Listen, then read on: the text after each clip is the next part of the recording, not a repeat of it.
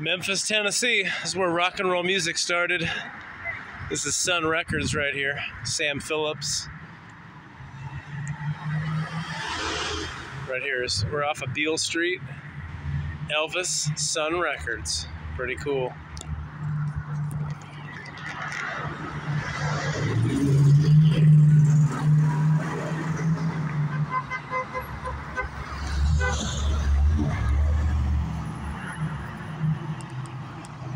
That's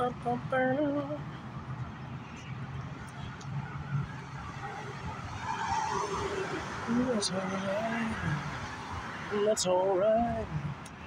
That's alright, mama. Any way you do.